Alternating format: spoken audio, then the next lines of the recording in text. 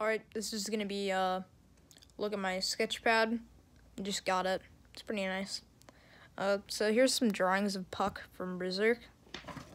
Uh, Haruko from FLCL, and then this Taken-esque cat. Uh, I don't know. Ah. Then over here we have um, Bart and my take on Herobrine, but he doesn't have white eyes for some reason. And this is little Floppa. He's pretty cool. Then I have Naota and Taken from FLCL. Uh, I have this failed Nirvana drawing. Then I have Griffith right here.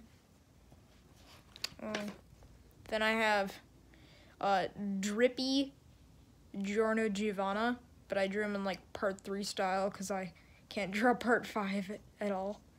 All right, so that's my sketch pad so far. It's pretty cool. Uh, see you guys in the next video.